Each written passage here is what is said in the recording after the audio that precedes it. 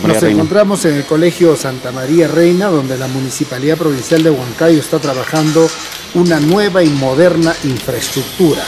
Estoy en condiciones de señalar que estamos cerca al 80% de avance de este trabajo. Solo faltan los acabados, puertas, ventanas, ya los pisos están, se están trabajando el sistema eléctrico, falta algunas zonas del área recreativa y deportiva y luego el patio de honor que registra un avance más del 50%.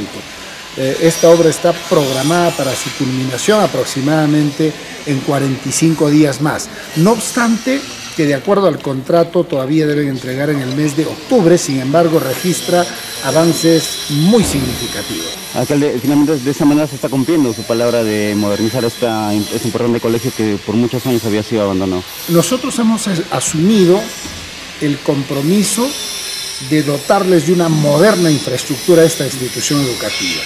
Hemos conseguido los recursos del gobierno central, cerca de 5.600.000 nuevos soles, y con esos recursos es que estamos trabajando esta moderna infraestructura, que no solo tiene que ver con el tema de aulas, oficinas administrativas, talleres, etcétera, sino también la implementación correspondiente, es decir, computadoras, mobiliario, entre otros.